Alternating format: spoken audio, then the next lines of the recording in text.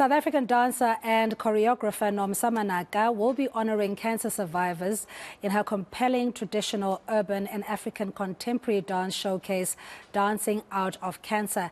The concert takes place at the Gibson Kente Auditorium at the Soweto Theatre on the 29th of October.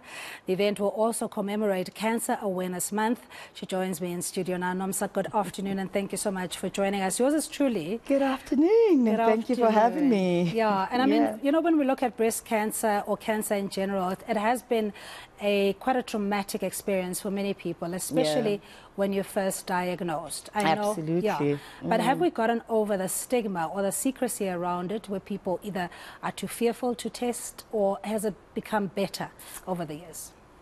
Actually, that's why we have Dancing Out of Cancer. Because one of the biggest problems, more especially in the African community, is that when you have cancer, you have been bewitched. I, I used to hear about it until I had cancer. And people would call and say, you know what? Let me take you there. Let me, you know? And, and, and they don't believe that you have cancer. They don't believe there's cancer. So that's why we're educating people with dancing out of cancer. Mm. That yes, we there is cancer and it can be treated. Yeah, mm. and early detection is very important. Early detection is very, very important. Mm. When there are road shows talking about uh, people to come and test, please, by all means, do it. Do it, you know, because early detection can save your life. Yeah, mm. and, and it's not necessarily for middle aged women, yeah. you know, as, as previously contemporary belief would uh, led us to understand. Absolutely. You know, encouraged, yeah. you know, to, to test as early as possible. Yeah, I mean, I remember when I was diagnosed 2016, I was with a girl in the ward. Um, I think she was about 24 and she had cervical cancer. I couldn't believe it was like, what, 24? I thought uh, cancer, you know, you must be in your 60s and 70s. It doesn't work that way anymore. Things have changed. Yeah. So please, as early as in your teens, if you need to go check, please do it. You know, prostate cancer, men, go check.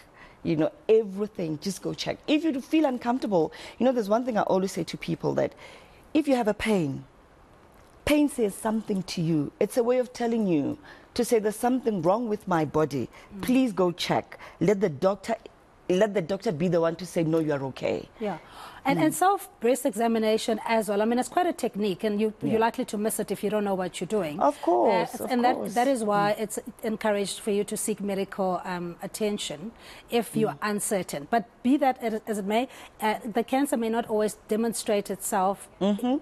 Through pain you know, some, some of it is, right. is quiet. Like well. in my case, I didn't know I have cancer until I had a, um, a cyst. And when they when I went to go do this to remove the cyst, that's when they realized that my cancer had actually spread. It was all over. It was in my lungs. It was in my liver. It was stage four, and I didn't have any pain until the last minute, you know. And I didn't even know the symptoms. Mm. What are the symptoms of ovarian cancer?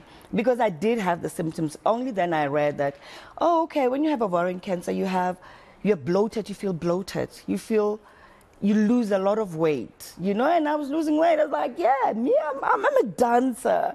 You know, me, I work out.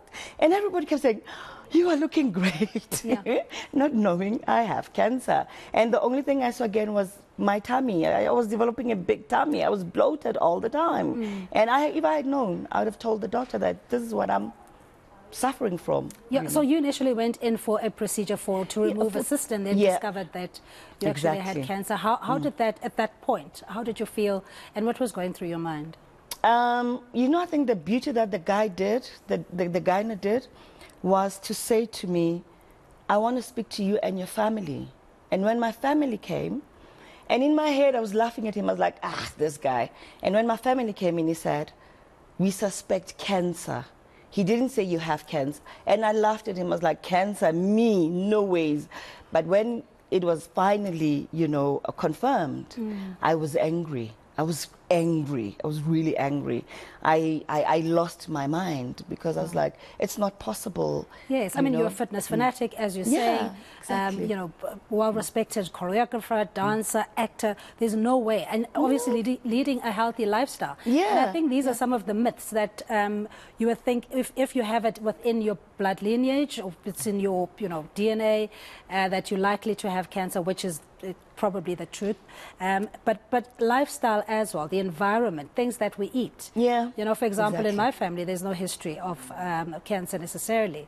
So it was quite a shock. Yeah, my know, when mom you- was, when you get was, was diagnosed with pancreatic cancer, you know, but I, I, I took it that, you know, I had just lost a brother who died in a car accident with his wife. And I took it, oh, it was, a it was very stressful and traumatic to my mother. That's why it caused her uh, cancer. And that's how I took it. Yeah. and that was it until I had cancer myself.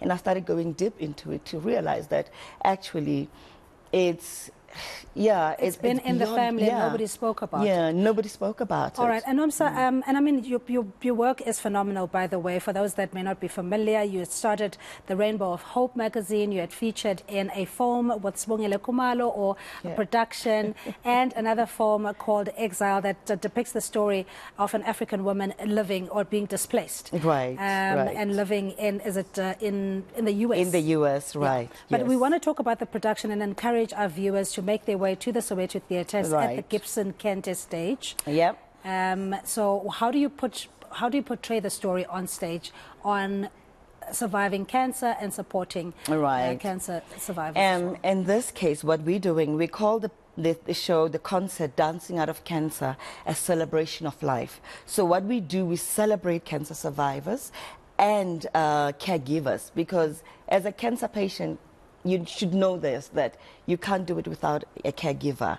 So we celebrate the caregivers and we're giving, we're trying to give hope to those living and infected by cancer. So it will be at the Soweto Theatre and it's musical. So we, it's music, dance, poetry. So all the art forms are together. So that's why I'm so excited.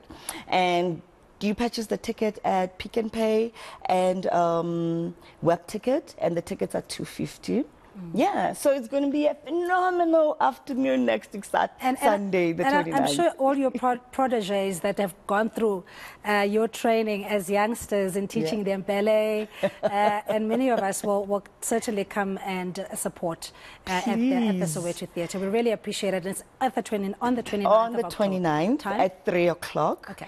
Soweto Theatre. Tickets are 250 Purchase Pick n Pay, web tickets. Really It'll be appreciate it. really great to see all of you there. Just come, let's celebrate, let's dance, let's go crazy. Let's You live. know? Yeah. Thank you so much. That's uh, Nomsa Manaka joining us to discuss the production that is currently, or on the 29th rather, that will be at the Soweto Theatre starting at 3 o'clock.